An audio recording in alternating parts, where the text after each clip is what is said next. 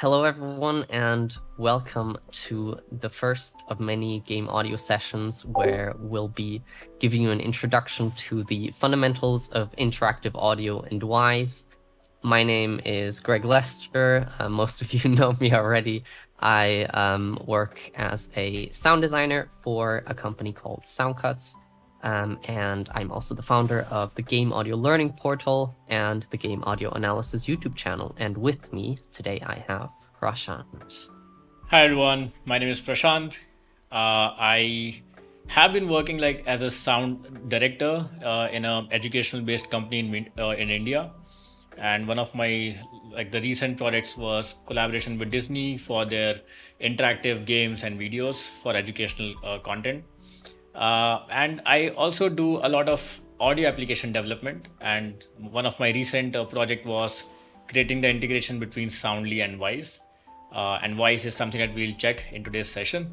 So yeah, I'm excited uh, to see all of you here and uh, hope to see have a great session. So, what is the angle with all of this? So, basically, we want to create a ongoing live course to really help you build your technical sound design skills, as well as develop the mindset of a game sound designer, which basically will uh, let you create audio systems in Wwise from scratch based on a brief. So, what does that mean? Well, in technical terms, that means that we'll be able to give you um, a huge palette of sounds, for example, and then you'll be able to um, create a system based on uh, instructions. So, for example, let's say we have a first-person shooter and we want um, a um, automatic rifle that can also shoot single fire and in burst. We have a uh, grenade launcher. We want the sounds to uh, change based on the distance. We also want to have three different reverb tails, one in a big space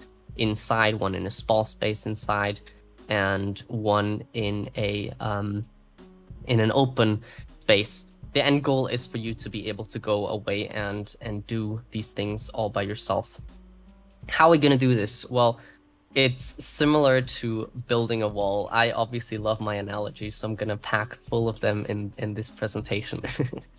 so we're gonna learn the theory first, and those are basically our bricks, and then we really want to solidify that with practical applications, with it being the mortar, so to speak. So a really good way to kind of learn all of this stuff is to follow along with these courses, whether you're doing it uh, live or um, whether you're watching this at home um, after the live presentation, and then to actually follow along with the tasks that we give, because then you'll actually be able to solidify that knowledge in practical terms. Yeah, I think uh, uh, just to add to that, uh, the, the main idea for this session is to have hands-on training experience, right? Uh, a lot of times uh, when uh, people watch tutorials, it's it's more of like this is how it's done but the aim here is to make sure that uh, you all do uh, a learn you you learn by doing. And that's also kind of uh, helpful if you're going to take up the uh, 110 certification in uh, Wwise so yeah that's that's the overall aim. Like you do things and then you learn. Exactly. And then the, the question is though like why should we learn implementation in the first place? So uh, another beautiful analogy is really like what's the purpose of the most amazing sound if it doesn't play? And so i like to um, use a lamp as as an analogy for this. You can have sound designers or actually lamp designers so to speak that make beautiful incredible chandeliers and yeah no they're super super bright. But if there's no power and there's no plug they don't serve any purpose really except for being decorative. So you could kind of see the sound designers as being the lamp designers and the technical sound designers as being the electricians and setting the cables and everything. So we're kind of bridging that gap. We are not going to go full technical sound design, but we'll be able to give you the means to plug in that lamp to make it shine. In other words, make the sound play. Yeah, exactly. I uh, and I think uh, uh, Greg, uh, a lot of times when it comes to uh, learning implementation, right, it also helps in doing creative collaboration with other departments. So, for example, the game designers would be thinking a, a specific approach. Uh, the the people who are doing the coding stuff would would have their own, own approach in mind. So, knowing a little bit of implementation also helps understand their language uh, so yeah, I think this is also a very strong point why learning implementation is one of the most relevant thing when it comes to game and interactive audio. For sure.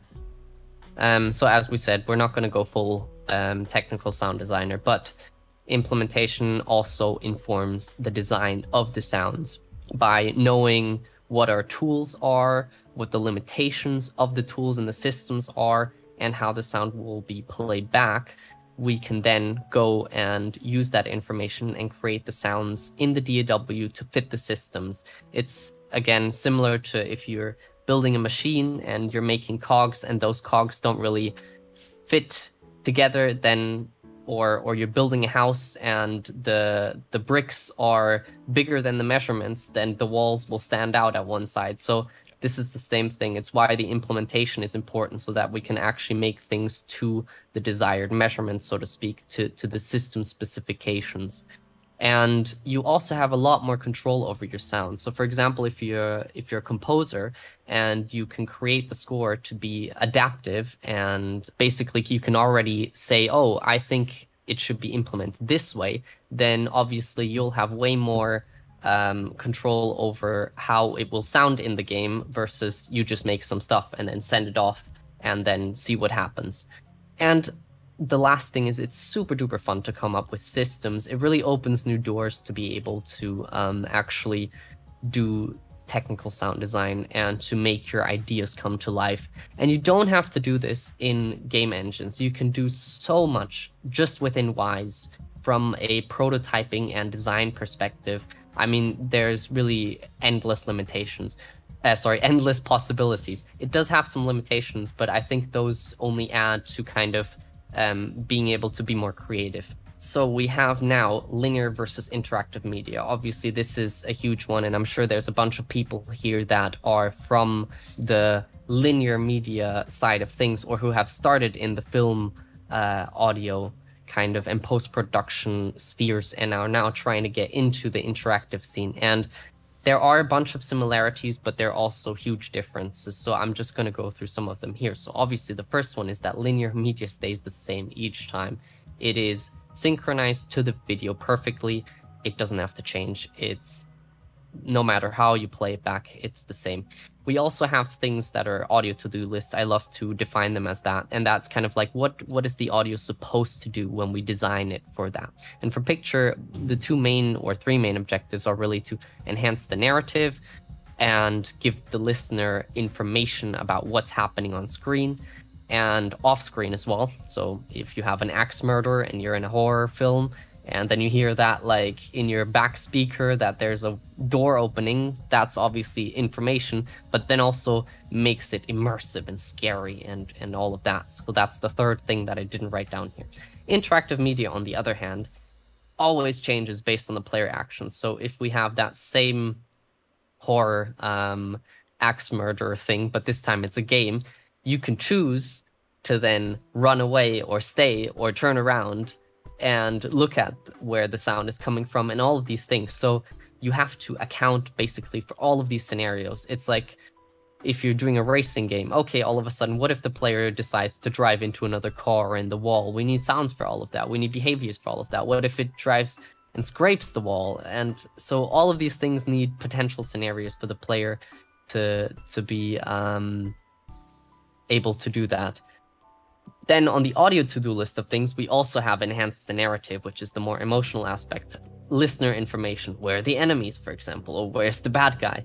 But then also there's the third one, which is providing the player with feedback. And feedback is when we press a button, for example, then we really want to hear something. So if you're shooting a gun, you wanna you wanna get that wonderful juicy feedback of the gun going doof, doof, doof, and and also then we have the haptic haptic feedback with that, which is mm-hmm. awesome um, to then put the sound into a physical realm And oftentimes, the sound designers are also responsible or partially responsible for haptic feedback. So it can be a really, really cool tool, but we're not going to go into that today. The third huge thing here is that assets need to go into the game. This is a huge process. There's jobs for it. There's, um, yeah, entire career paths, right? So you have to plan uh, on how you're going to implement the sound. Then the sound needs to be designed to match the implementation plan. Like I said, you need to match the measurements otherwise it won't fit, so to speak. Um, so, for example, if you have a again a a um, a gun system and you say you have, want to have single fire and automatically automatic fire, how are you going to do that? Are you going to do it with a single first shot then a loop, or will it be multiple shots that will be playing after one another? So there's kind of lots of thought process that has to go behind that. Um, then the sounds need to be implemented into the middleware, so in this case Wwise or the game engine directly if you're not using middleware, and then you need to create a hook for the audio event to trigger. So the audio event basically houses the sound then. And then you need to play test it to make sure it even works in the first place, right? Because and and if it sounds good as well, because once the sound is in the game, oftentimes it turns out then oh it doesn't quite fit the context. So yeah, lots of things to consider right there. Yeah, exactly. I think uh, uh, when it comes to the interactive media, uh, one thing that is also much more fun as compared to the linear media is the fact that uh, we can never decide where what sounds will play at what moment. So, for example, if it's a video that we are working on, an animated video or a film, if at 2 minutes 14 seconds there is, uh, say, gunshot, every time the video is played at 2 minutes 40 seconds, there will be a gunshot. So, from a sound designer's perspective, uh, from a mix engineer's perspective, the aim would be to make sure that it sounds as good as possible and as relevant uh, as possible in the mix. Now, when it comes to games and interactive media, the gunshot could be at any point of time. Uh, you never know if the music is playing at that moment. You never know which specific part of the music is playing at that moment. So there is a, a little more fun uh, element in that regards because you have to see the bigger picture and which is where a very important aspect of pre-production comes in uh, interactive media which is also there in linear but in interactive media it is much much more relevant uh, and it's not just that a person is working in there for example DAW and they have a specific session and they have their own style of working and all they need to export are the stems which is the case that we do in films and videos right? We just export the stems and those audio files is what goes to the rest of uh, the departments for mixing and so on. In interactive media in games uh, and metaverse and everywhere we are actually dealing at an individual level at every individual file is what matters. So it is much more fun uh, and at the same time it is it involves a lot of collaboration. It, it it requires us to have a good understanding of everybody else who, who are involved in the pipeline. So i think that's something that excites me the most. Uh, i mean personally uh, but yeah it's also a little bit challenging and yeah that's the fun part. 100% so the next part is really how do we kind of approach this and train this especially if you are coming from um, either film or you've never done any of this before and this all seems super daunting. So the first thing is really to to observe, analyze, document, and learn, or the four four things. So play your favorite games. One of the big things is that when we when we go into games, it's really important to just play a bunch of games, listen to them.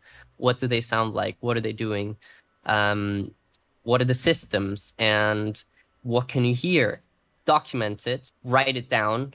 This is super important as well, online and offline. Research and learn. This next step is really kind of like there's a bunch of different articles on a sound effect, on um, what's it called, uh, on as, as, well, blog posts that really outline like how did they do this, how did they build these systems. So once you kind of like taken one of those games and uh, like Overwatch, for example, and listen to it, play it, see how it works, see what's going on, and then afterwards you can then see what have they actually done and break it all down and then you'll you'll probably be surprised that some of the things you've probably guessed right and i think then trying to potentially even reverse engineer that later on once you have a little bit more of the skills is always super super good uh, for learning Yeah, absolutely. I think, uh, Greg, uh, one thing that I, uh, one analogy that I like to give is uh, try and become the Tarantino of game audio.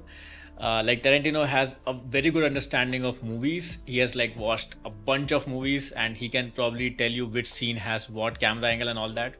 And I think observation is always a good way to learn anything. So if you, any one of you who are completely new for this domain, pick out any favorite game of yours maybe you played in, in your childhood uh, and maybe you did not notice a lot of things so for example if you have played super mario and i think a lot of people here would have played it already there are instances in the game that happens which you would have noticed uh, but i'm not sure if you're thinking from a game audio perspective. So for example if the timer in super mario goes below 100 the music all of a sudden speeds up.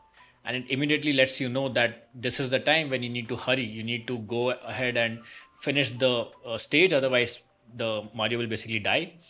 And that's how you the user gets to know that there is an action required from the, their end but from a game audio implementation wise as soon as the timer goes below 100 you listen a very nice music like a bridge and then the next fast music of the same track uh, initiates so small observations, but it can actually enhance your understanding of how you would want to approach uh, a game that you're working on in the future. So yeah, ob- observation and documentation I think are very relevant, and I think this uh, also comes uh, uh to the point that in game audio, documentation could actually be as like as important as 50% of the whole work so in film audio, I know documentation mostly is, gets used in terms of budgeting, in terms of deciding who would do uh, how many durations of the video, for example, how many reels would get shared among different uh, studios. But when it comes to games, even small things like what will be the name of the file is also very relevant. And if you miss that, or if you are not on the same page as everybody else in the team, the audio might be ready from your end but it would never reach the final game.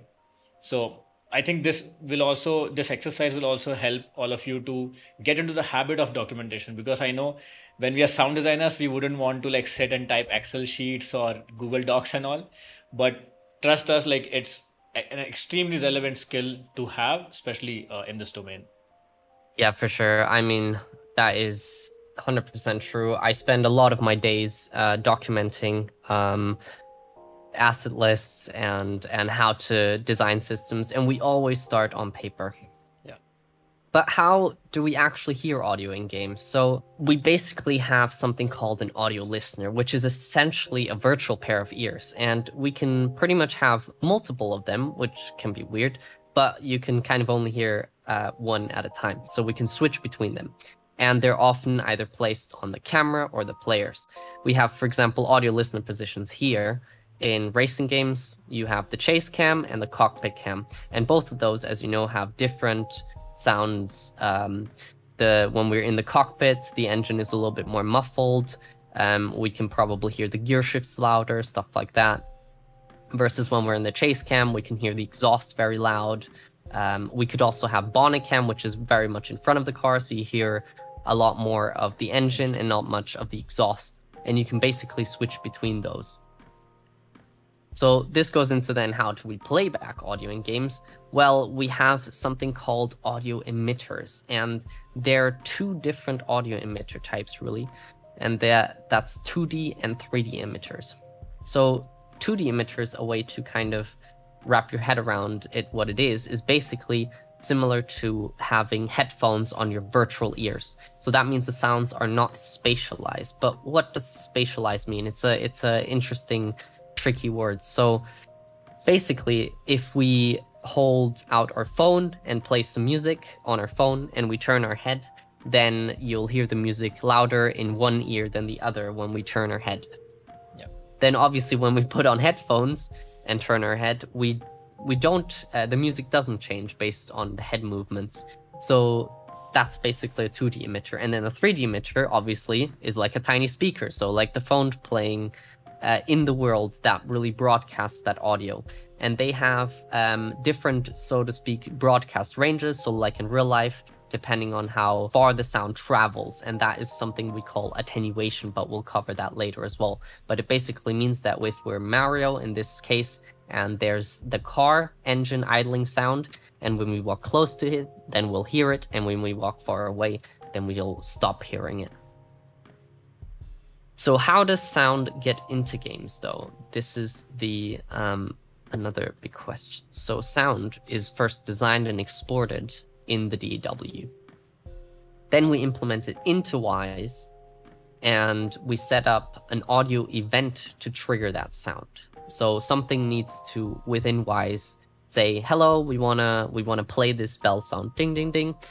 Then we want to create something that's called a hook, and it's called a hook kind of because you know we take that and and grab it um, in the game engine that triggers that event, which then triggers the sound, and that is done through code animation triggers. So, for example, you know when the foot is is down uh, on an animation, then we have a footstep sound or something like that. Volume triggers. So, for example, if we go into a um, into a specific area and and all of a sudden we have a music change um, from i don't know forest to cave or something and box colliders which is similar.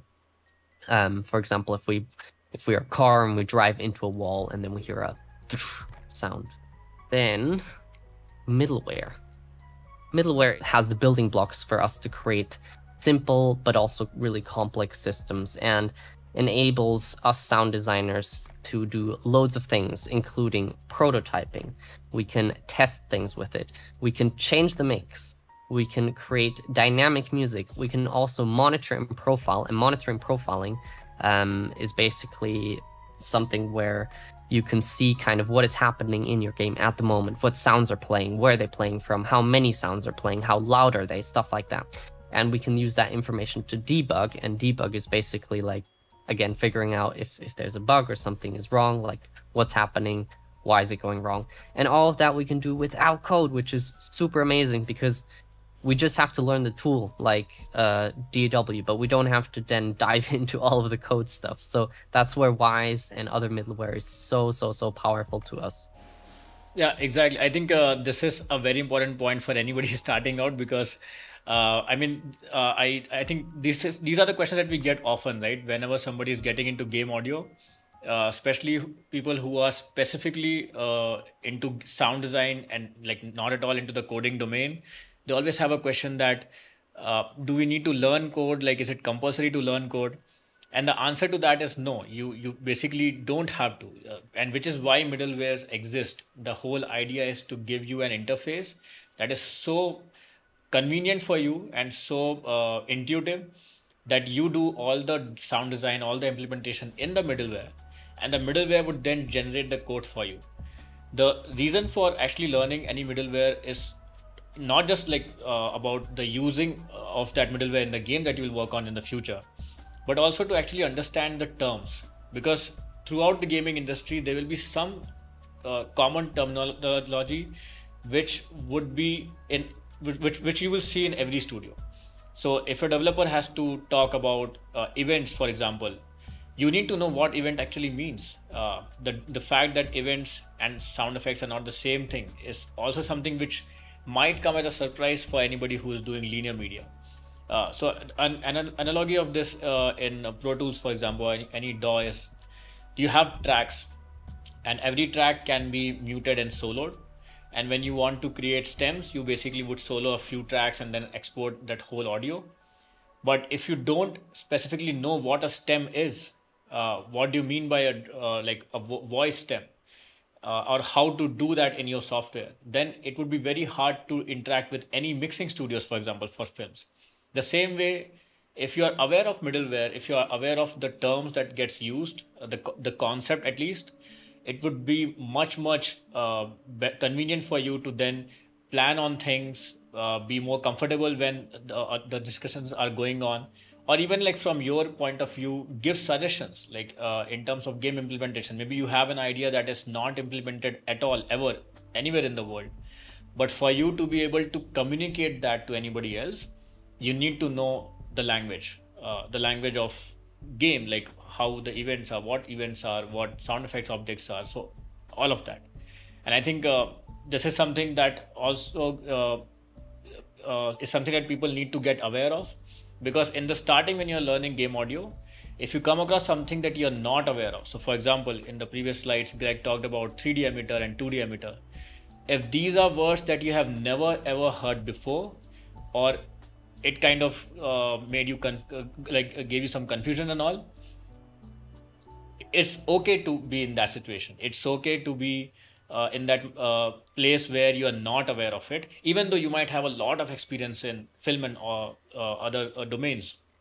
But accepting that there will be some new keywords and anytime you come across such keywords you would basically have a mindset that you will go and google about it and search about it and learn that that's also one of the like more important aspect of learning any mid- middleware or any game audio uh, from a learner's perspective rather than a mindset of okay i know films and all i have been like a pro mixing engineer so this all should be all known for me already.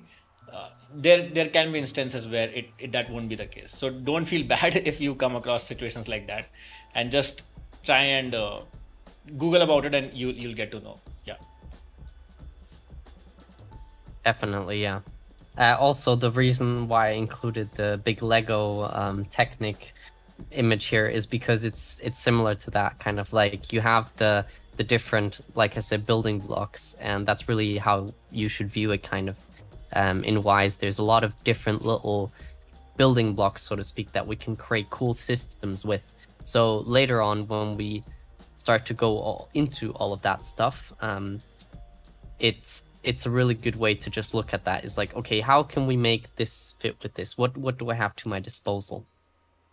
And this is why we get into designing systems. So the first thing is what you really want to start is in your head. So like figure out what exactly do you want to happen? When does the sound need to play back? And it, and also importantly when does it need to stop? Because if we don't tell it to stop it won't stop. Um how does the sound need to play back? And does it change during the playback uh, during yeah during runtime which is while the game is playing playback?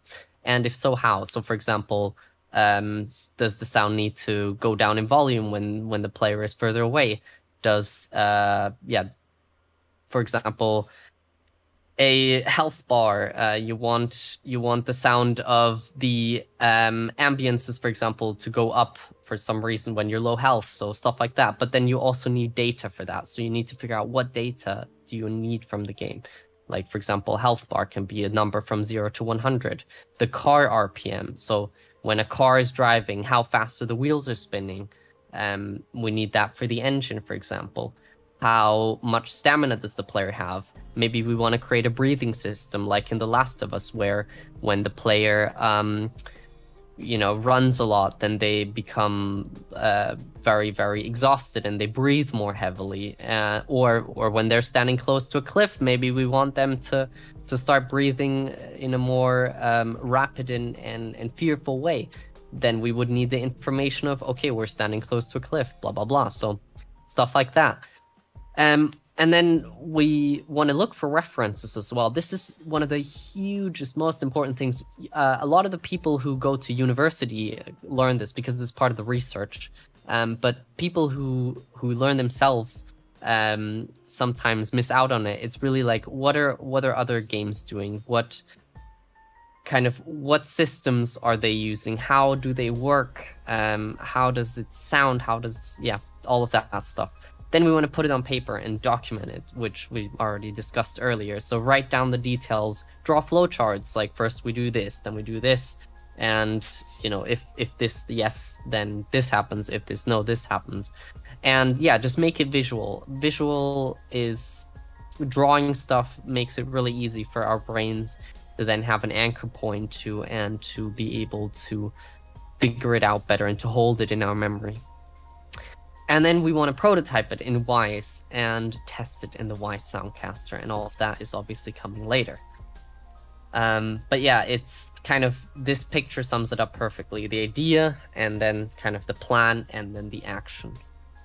I think this this uh, slide, uh, I, people should probably take a screenshot and print it because this is going to save them a lot of time. And uh, we always have this tendency to jump the gun, right? Like we always feel like, oh, we, we have to design a sound for this visual. Okay, let me just import the video into my DAW and start designing right away. And I think the fact that you need to take a step back, look at the bigger picture, and I think just follow these steps like by staying patient i think will save you a ton of time in the future when you realize okay uh, whatever sounds i have designed actually makes sense in the context of the game so yeah i think uh, please go ahead and take the screenshot of this and uh, make sure to print it out and especially if you're starting out yeah these steps are going to help you a lot so fundamentals of Wwise. Now we're actually going to jump into the more practical part, and uh, we're going to look at how to install Wwise and set it up, um, look a little bit into the layout, and we'll go from um, the journey of adding a sound and then also playing it back and how events work and um, how to create them. So I'll let Prashant share his screen and take it away from here. Uh, awesome. Uh, thanks, Greg. Okay, so I'll just uh, share my screen and run you guys uh, through it. So the first thing is when it comes to Wwise, there is a concept of Wwise Launcher, and this is basically the company which is Audiokinetic. They have kind of made it easier for uh, all of the game developer community to uh, keep a track of which version of Wwise they're using. So the first thing that all of us needs to be aware of is that you need to download something called Wwise Launcher, and this you will find from uh, Audiokinetic's website, audiokinetic.com. And once you download the Wwise Launcher, it will probably ask you to log in. Uh, you can create your account and then basically log in into the uh, launcher. And once you're done with that, go to the Wwise uh, uh, menu, and then you will see a bunch of options to install a new version. In my system, if you notice, I have three versions already installed. So uh, maybe if you're doing it for the first time, you won't see any of that. Uh, but all you need to do is click on this install button and it will basically uh, let you know about the different versions of Wwise that uh, uh, like the SDK, the offline documentation, these are all optional. What you will definitely need is, is the authoring. The other side, you will see something called deployment platforms. So if you are not aware, Wwise actually allows you to create game audio and like export the files for a lot of platforms. So it includes uh, nintendo sony mac uh, uh, mac applications uh, windows applications windows games and all that. So based on what platform you want to export to at the moment you can just select or you can also leave it at none these are options that you can actually install later on and that's the whole point of using Wwise launcher say if you are using your system to create games that will only be played on Xbox, for example, you don't need any everything else to be cluttering your uh, uh, storage, right? So you can just uncheck everything that you don't need and select only things that you require, and then click on next. And it's a very basic step uh, to do the installation. And once you're done with the installations, if you come back to this Wwise tab, you will see all of the available versions in your system listed down here. So in my system, I have 2021.1.8 1.9 and the uh, 2022 beta version. There is also another version of 2022 that is recently launched, but I have not installed it yet. Yes, it is very common to use Wwise versions that are not the latest. Um, yeah. It's partially to do with some versions. Uh, if they're new, they might not be stable. They might have bugs in them that um, or cause weird things that can't be found. So mm-hmm. then teams will spend a lot of time to then only to realize like, oh, it's something that we can't fix anyway because it's in the software. Additionally, um, teams need to have the same Wwise version. So that's why it's really important that the Wwise launcher lets you have multiple versions installed. Yeah. Um, so for example, the whole team would then run off the same Wwise version because if someone runs off a different Wwise version and then checks in their changes into mm-hmm um, the source control, it might cause some very, very weird stuff for other people. Um, so yes, that is super common.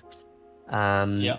Plugins as well are optional. Um, plugins are same as DAW plugins. Basically, you can mm-hmm. um, choose to use them or not. There are some that are free, others that are not free. So you just need, need to make sure to read up on which ones you can use and which ones you would have to pay licenses for. But I think it's really cool to install them and to just try out stuff because Yeah. it's really good then if you're working with with the team um, and you need a reverb and there's different convolution reverbs that you want and you've already tested the Wwise one and maybe a different one from um, another manufacturer uh, that's also available to download then you can already you have a you have a mental comparison of those so it's definitely not a bad idea to install them and to just have a go and try them out Exactly. Yeah, and I think uh, uh, this is also something which is a little bit different from the usual film and uh, like the other in, uh, like linear media, because like if you're using a specific DAW, like if you're using Reaper for example, you can work on Reaper and export the stems, and those audio files are what goes to the other person. It's never. It's very less likely that uh, your whole session itself will go. Uh, but when it comes to Wwise, there are I, will just talk about the work units in, in a second but uh, making sure that everybody is on the same version is extremely important and i think this is something uh, that uh, uh all of us should also have as a habit uh, when it comes to creating documents so if you are going to work in a game company for the first time and they do not track the Wwise version you can actually give this, that as a suggestion and uh, believe us like you will immediately get a, a good response for that because it can often mess things up if you are on the different version. So it's similar to using a different version of Unity itself. So I have seen companies like even in uh, in the games that I have worked with, even in 2022, the application, the 2019 version of Unity was getting used, and the whole reason was there were custom codes written specifically for that version, which may or may not work in the latest version of Unity or Unreal. So version uh, tracking is a very important thing, and yeah, it, that's a that's a great question to ask actually. All right, so once we have that installed, the next step obviously is to click on Launch Wwise. Just be aware in this installation that we have done, we have not installed any plugins. Uh, we have not installed any other additional add-ons, just the authoring. Like I said, we can do all of that later. And how you would do is just click on this wrench icon, which is settings icon, and you can just modify your installation or you can al- also manage plugins and it's also a very important thing like greg mentioned that most of the some of the plugins could be free but some of the plugins could require additional licensing so be very careful when you're going to add plugins especially if you're working with a specific game studio uh, because if they are not uh, in a position to actually license more of the plugins and all, you should definitely avoid them. And there are actually workarounds that you can do within Wwise uh, about adding reverb and all that. And you won't necessarily require plugins all the time, but something to be definitely aware of that by mistake you should not have any plugin that actually is will go is going to cost your studio without actually checking with the studio first. So let's actually go ahead and do the first step. In my case, I'm just going to install version, I mean, I'm going to launch 2021.1.9. Okay, so the first thing that you would be asked, uh, that would you would be shown is basically the project launcher. And project launcher is very similar to what you see in most of the DAWs where you're asked to create a new project, uh, select the location where you want to save, or you would be asked to open an existing one. So in our case, let's just go ahead and click on new and once you, you click on the new button you will be shown another window which basically is a new project window in which you can decide the name of the project. So let's say this is gal Wwise 101 gal is basically the short form of game audio learning. You can select the location where you want the project to be. And this is very important. Uh, we'll uh, also talk about the folder structure that Wwise actually creates for you uh, to get a better so let's I'm going to just uh, keep everything inside this folder called game audio learning. And if I click on choose, that's it's selected. Uh, original files is basically the folder where all of the audio that you send to Wwise will be copied to. And we'll, we'll take a look at that as well. Platforms is uh, the list of platforms for which you want to build. Uh, so basically in Wwise, uh, like how in DAWs you have, you export audio files, uh, in Wwise you export sound banks and it's all depends on which platform you're building for. So by default for you it might be showing as mac or windows but in case you don't have what you want you can just click on the add button uh, and just select the platform that you're building for. And you can just select that. Like for example let me just select mac and just click ok. Now i have the option to build for two platforms. And this is what the power of Wwise is. With a click of a button you just added a whole new platform uh, and if you are basically doing audio coding like on your own you will have to write a whole new script probably. Now at the end you also have some additional options to add asset groups and all which i'm going to select none because we are not going to use any of the acoustic texture or synth and all that. And we can just click ok. Now Wwise would take some time uh, and it would basically uh, generate all the folders for us I think if you are launching Wwise for the first time, you might also see a window uh, which would, would mention about the license. Um, and you, for now, you can, I think, uh, skip that. But when you're working with a game studio, you might actually receive all that information from the game studio itself. Uh, Greg, you want to uh, add something on about that?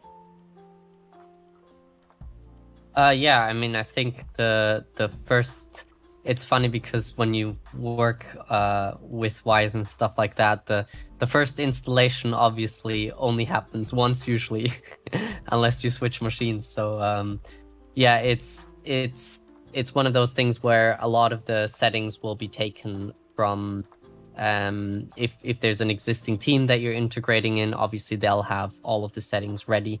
If you're a freelancer and working with the studio yourself and it's your first time using Wwise mm-hmm. then it's basically you have to clarify beforehand what platforms do you want to publish to, um, and then basically as Prashant just did, add those to um, to the to the project options. Yeah. So I think this is the window I was talking about. It would just say license manager. In, in our case, we just click on close. And now comes the interface. Uh, and I think uh, I have this analogy of uh, talking about how do we learn to ri- ride a bicycle. And uh, what I would generally prefer to do uh, before even starting to pedal is just like sit on the bicycle and just just get comfortable with it. Like just maybe tilt it a little bit just to see if i'm confident enough to uh, handle it on my own. Or like so that in in situations where i'm pedaling and i'm about to fall i am confident that i know how to apply brakes and just put my foot down and actually we still be able to control it. So that's what we are going to do now let's actually look at this interface i hope it's clear to you guys on this video stream uh, in case you are uh, doing this step in parallel, you can also take a look uh, on your screen. Uh, the first thing would be to just do some observations. You can see there are some things on the left, there are some kind of panels, there's something on the middle, and there is something on the right. In case your layout looks a bit different than mine, uh, you might want to go to layouts and click on designer. So I'm basically on the designer layout. And in case even then it looks a bit different you can just go to the last setting inside of the layouts menu called reset factory layouts. Select the designer layout and click reset layout. And this way you can be sure that your screen and my screen looks the same. Uh, this is important only at the first step because as and when you start using Wwise you will probably have your own way of using Wwise. So you will you you might have your own way of structuring things like you might have some windows on the left some on the right based on your convenience. But just so that we are on the same page in the start this would be a good step to do which is go to layouts go to reset factory layouts reset the designer layout so that your screen and mine looks the same. So now we actually see a scary interface. It's not actually scary i'm just like joking. So let's observe a few things. On the top we see like a project menu. We have something called project. We have like a edit menu. We have views layouts profiler audio windows help.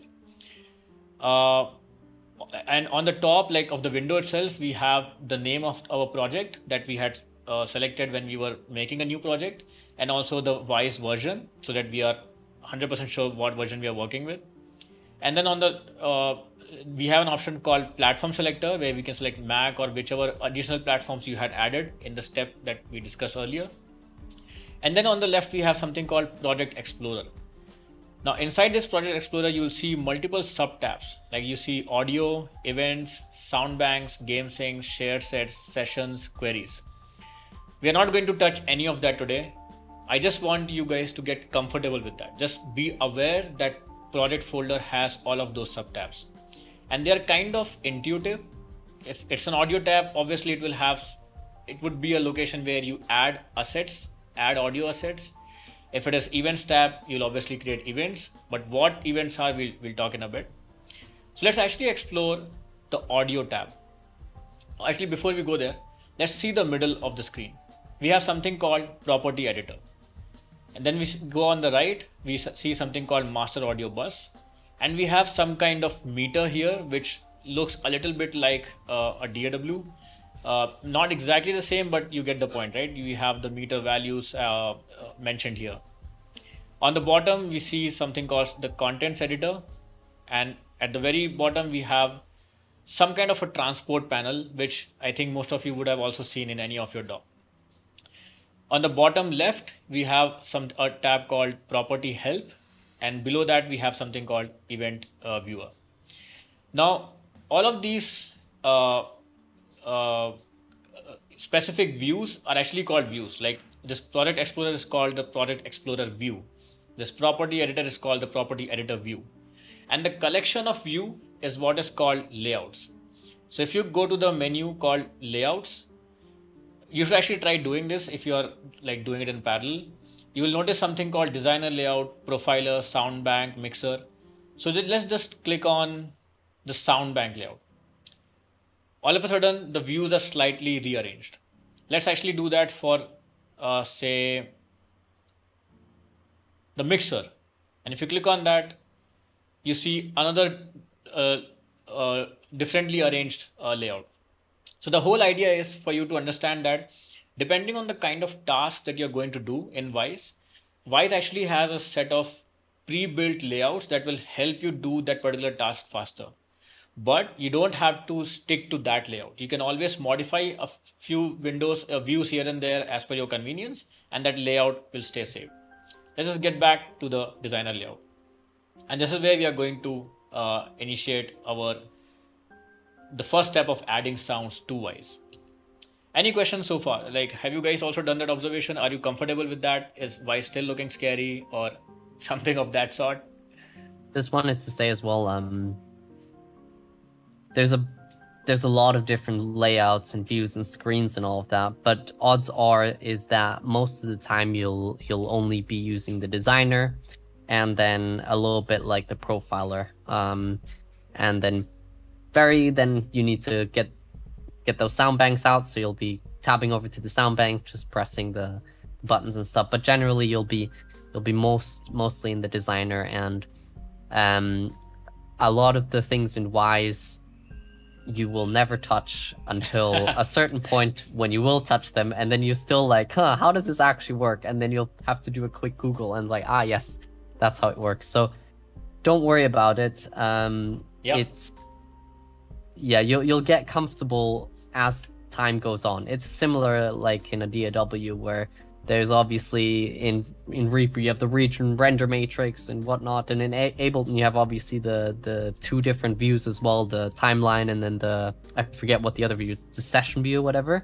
And so with those as well, like at first when you go from another DAW into Ableton, you're like, what? There's two views and not just the timeline. That's crazy. So it's it's it's just all you get used to and you you get comfortable. Yeah, exactly. Yeah. So I think uh, let's quickly now look into the uh, designer layout. Like Greg mentioned, this is going to be something that you will be visiting often. So it's a good thing to just be aware of the things. So inside of designer layout, let's check this uh, project explorer view. And inside of project explorer view, let's check the audio tab.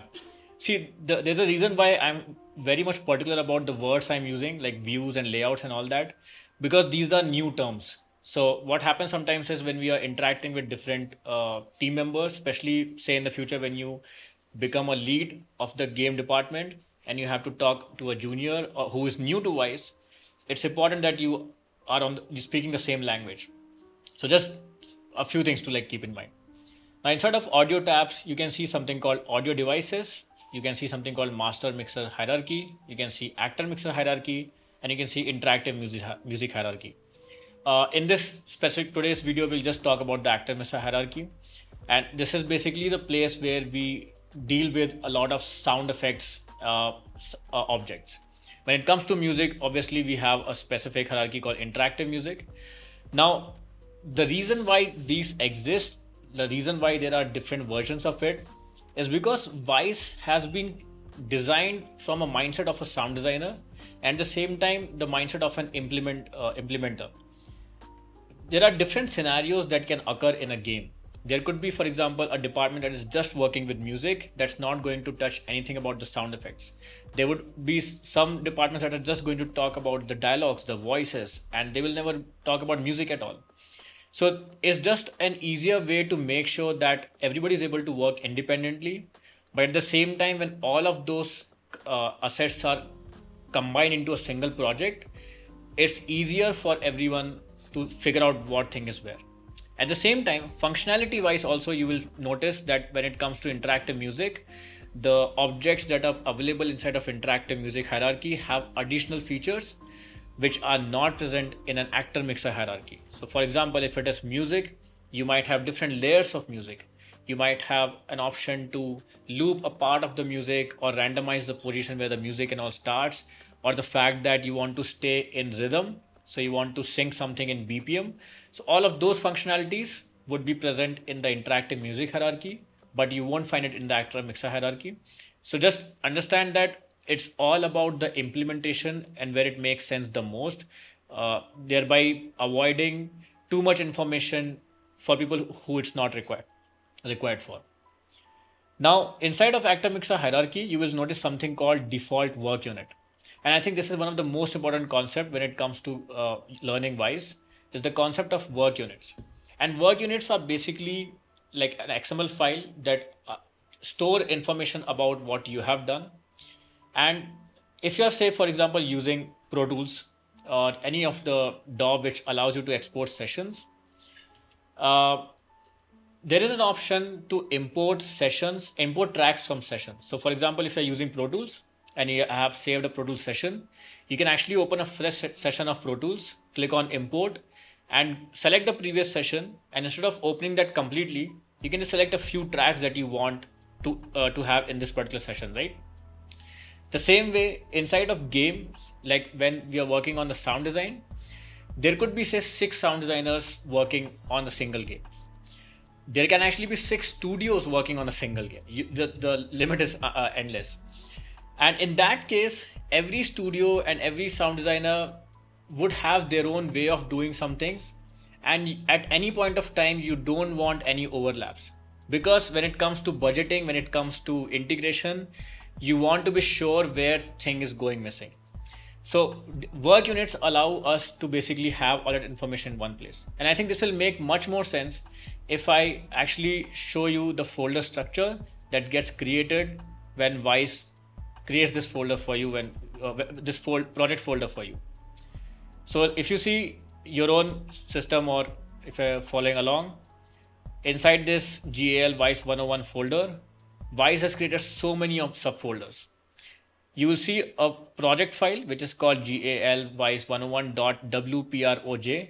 This is the main project file that uh, Wwise opens.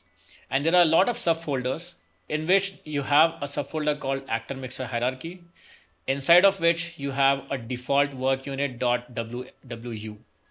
And actually, if you open this WWU file inside of any text editor, you will be actually able to see the XML file uh, don't mess it up because then Wwise might not be able to read it. But that will, but do open it for just just for fun, just so that you know it's nothing like tricky and it just stores the information that you have. So that's the whole point of uh, work units. Now inside of work unit, when you click on the work unit, this is where you start adding objects. So now if you see, if I select the work default work unit, on the top, a few buttons get highlighted. Like if I unselect it, deselected all of them are like uh, inactive. But if I select it again all of them become active. And one of them which has the speaker icon if you hover over it it says create new sound SFX and if I click on that it allows you me to just add like type a name. And it is uh, basically giving a default name called new sound SFX so let's just call it gunshot now basically gunshot here is a sound SFX object. It does not have any audio file in it. It is just an object which will hold the audio file. So this is another concept that I think we need to understand when it comes to any game audio engine. The audio file actually goes and sits inside of an object. Uh, and the uh, anal- analogy of this with your uh, uh linear media would be uh, say in your DAW, you have tracks, and tracks is where you import all the audio files. And when you play back the whole track, whatever audio is there in that track gets played, right? Uh, like in, in sequence. But track is the entity that actually is holding the audio file in it. It could actually hold like the full audio file or maybe a part of it. You can have crossfades and all that, whatever is whatever you want to do. But at the end, the track is the entity that is going to hold the audio file. So kind of in a similar way, the sound SFX object is the object that is going to have a, a, a, a way for you to import sound effects to it. Uh, does that make sense? It's basically like a container.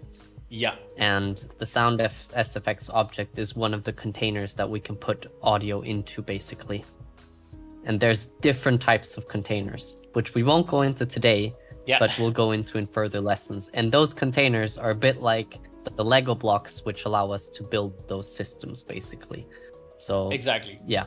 So I think, uh, uh, I mean, even when I was learning uh, like Wwise uh, and like middleware in general in the start, even in Unity and Unreal, this is a concept that kind of uh, went above my head because uh, I was like, okay, I have a, created an object. Why doesn't it play any sounds? And uh, I think this is a very important thing to understand when it comes to uh, any game audio uh, engine or any middleware. This is a common concept throughout that you will have containers, and those containers actually have functionalities, which is why it is approached this way. And those containers is where you will add your uh, actual audio file. So let's just actually do it.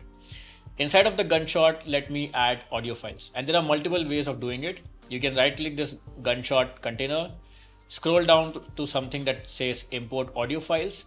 Uh, the shortcut is Shift I, and please remember the shortcuts in Wwise. It will it's going to save you a ton of time. And when you click on that, Wwise basically shows you a window in which, if you see on the top, it says Add Files, Add Folders, or Import Tab Delimited, which is basically uh, uh, an option for you to add uh, a file which has the information of other files and all that. So, but let's just click on this option which says add files. So when you click on add files, Wwise would basically prompt you to go to the folder, any folder in your system which has any audio uh, and just select that. If you click on add folders, it has actually a little more functionality. Uh, Wwise actually helps you automate a bunch of things. So for example, if you have one folder uh, called footsteps in which there are multiple files, you can actually import all of those files uh, at once inside of a different type of container, not the sound SFX container, which we will talk about uh, in a future session. But today we are just going to focus on add files. And as soon as my system starts lagging and actually shows the prompt, uh, we should be good to go. Uh, until then, uh, Greg, anything you want to add to that? Keyboard shortcuts is a good one so obviously we're not focusing on that right now but yeah. in general um, learning learning keyboard shortcuts is good and i think i also just wanted to say here there's no with with Wwise and similar with DAWs and stuff, there's multiple ways of doing things. So with within a DAW, you could you could have a bus if you want to put reverb on something. You could have a bus and then send send the track to the bus to have reverb. You could put the reverb directly on the sound. You could put on the track. There's multiple ways of doing it. It's similar in Wwise. There's multiple ways of doing a lot of different things from from a system design standpoint, but also just importing audio. Like you can drag and drop it. You could use a Soundly Wwise integration. You could use the Command Shift I and import it and things like that. But basically, um, at the end of the day, it's kind of like get comfortable with, with what works best for you. Um, exactly do it in that way. Yeah, and I think uh, if, also if, if there's questions, now is a great time to ask. yeah. Uh, by the way, I think you you might notice that we are going way too slow when it comes to uh, talking about game audio, like uh, what Greg presented in the starting and what we are going seeing in Wwise as well, because that's the whole aim.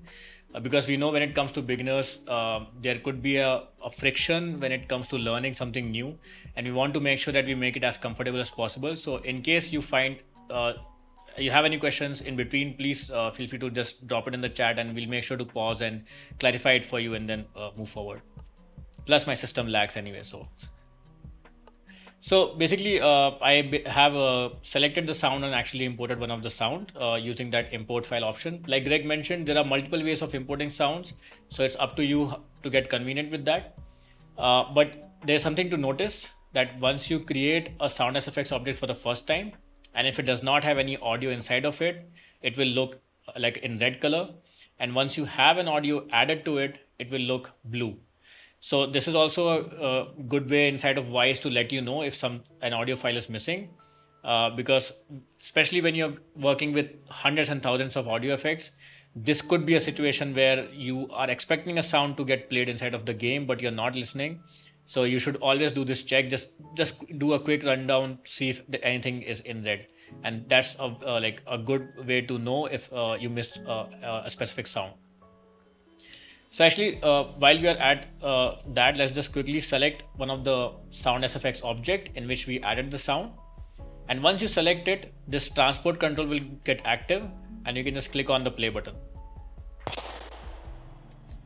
The idea here is, like I mentioned, uh, inside of Mac, Wwise is basically like uh, uh, done inside of a wine bottler and all that. So you might notice things like if you have like a bunch of uh, sound effects, uh, sorry, sound SFX objects, and you click on one and then you immediately click on the next one, uh, you might see that both of them get selected at the same time.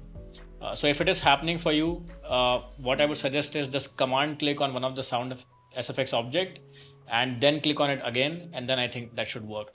Uh, I don't think this happens inside of Windows, but this definitely happens in Mac. So nothing to worry about. There's nothing wrong with your system. It's just the way it is. Uh, and I think in the uh, native version of Wwise, this, this should be uh, taken care of. So again, like uh, just now I created a new sound SFX object and you can see the one at the bottom is in red and the top one is in blue, which just means that the sound sound SFX object does not have any audio attached to it yet, which we'll do now. And we'll do it in a different way. So this time I'm basically going to use uh, Soundly for it. So let me just uh, click, let's say magic wand. Uh, okay. So I can just select any of the sounds that I prefer and I can click this button. And the same thing happens. Uh, Soundly basically lets me uh, either send the sound to that specific object that I had selected in Wwise, which we had named as sound, or maybe create a new sound SFX object. And I'm actually going to use this new sound SFX object because I want to show you guys the concept of different work units. And let's just name this sound as magic ting because that's what the sound is and click on OK. And once I do that, uh, Soundly will basically send the sound back to Wwise. And let's observe a few things here. So now if you notice, we have inside of actor mixer hierarchy, we actually have two work units. One is the default work units that we were working in so far, in which we added two sound SFX objects. One is called new sound, another one is called sound. New sound is blue because it has audio file inside of it. Sound is red because we are yet to add anything to it. And we also see another work unit which is called Soundly. And inside of that, we see a sound SFX object called Magic Ting, which is in blue which basically means Soundly has also added a sound, an audio file to that specific uh, sound SFX object. Now, this is what we were talking about, that if you're working with different teams, they would be working in different work units. And the cool thing about Wwise is that you can share work units with different uh, teams, and then they all they have to do is just import it to their uh, project session.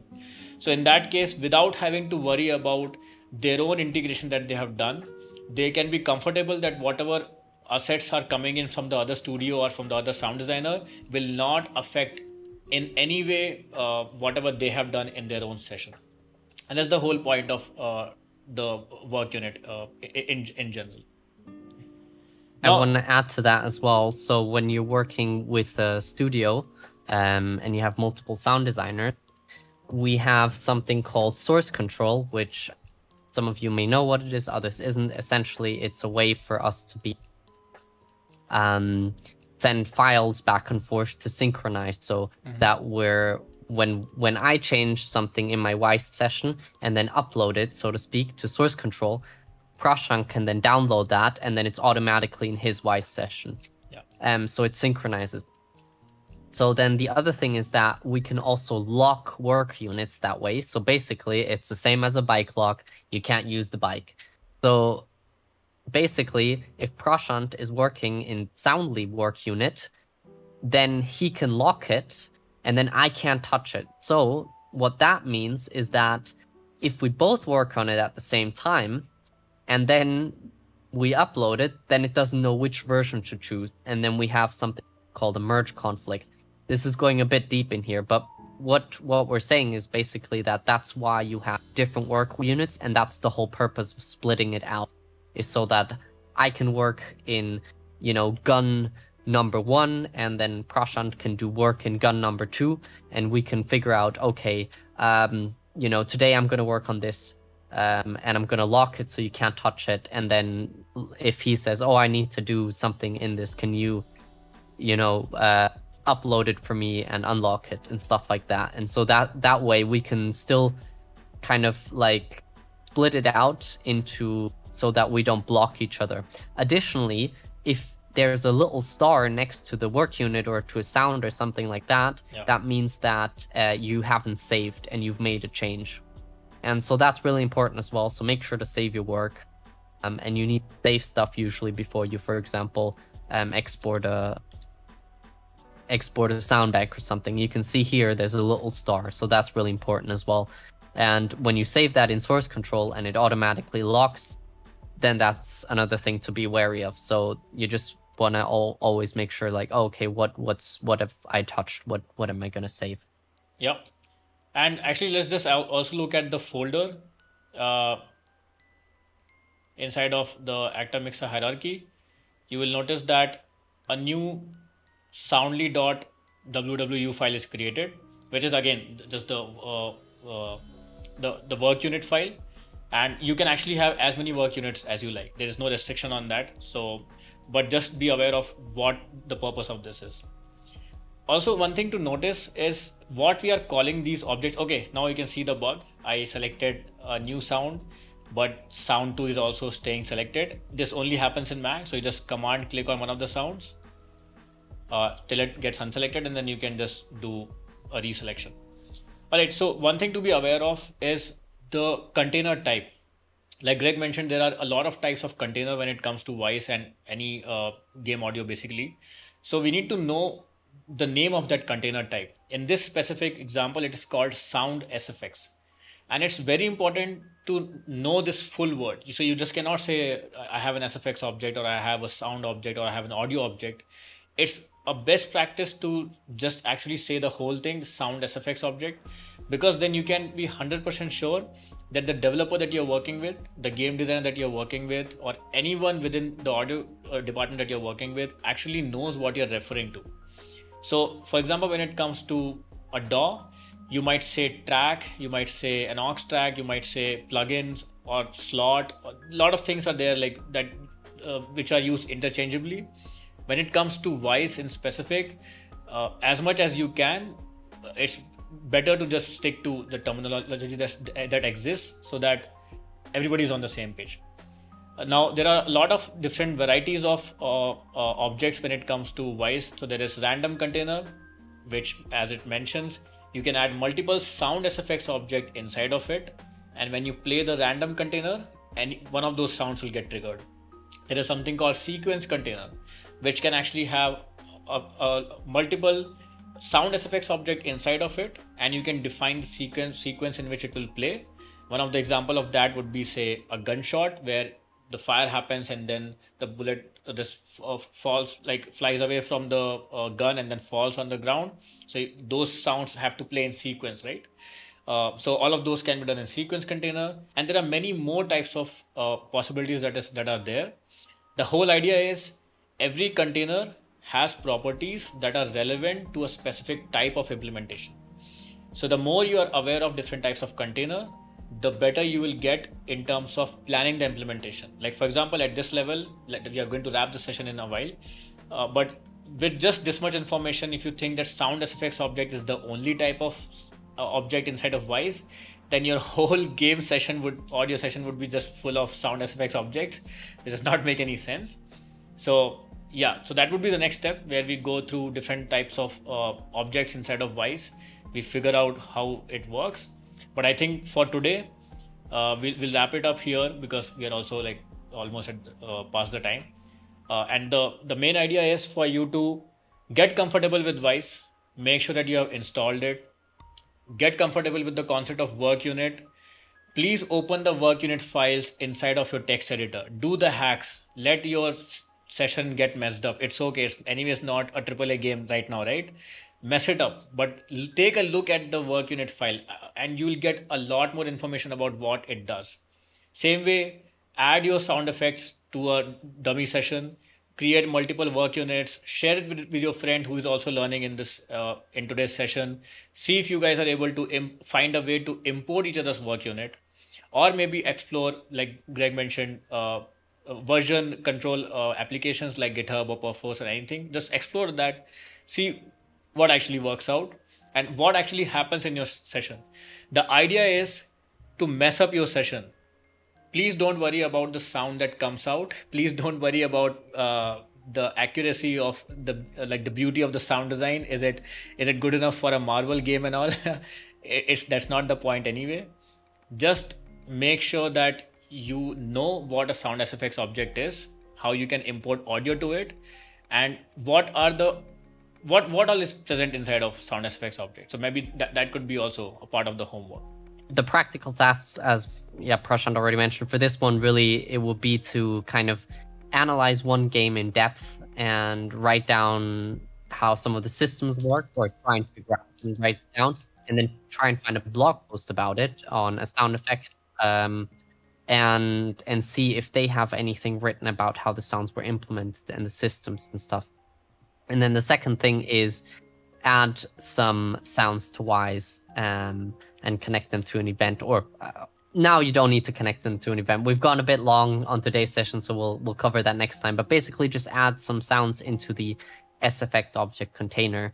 Um, so, for example, a uh, yeah gunshot or something like that, just as we as we've done today, and just get yourself familiar with Wwise lastly, I just wanted to say that this is our first time doing this. Um, obviously, our plan is to to have ongoing sessions, so um, we would love to hear your feedback and how we can improve as well. Um, and yeah, we like like we said, this is this is an ongoing series, so um, we'll get a lot more in depth with all of the knowledge. We totally know that this is very much scraping the surface at the moment, but we just wanted to lay a really good groundwork for people um, who have never ever thought about anything like game audio before. Thank you so much, everyone, for coming. We'll make sure that next time we don't have a reduced cap. I need to figure out how we're going to do that, whether we're going to do it in a different call or a stream or something. But um,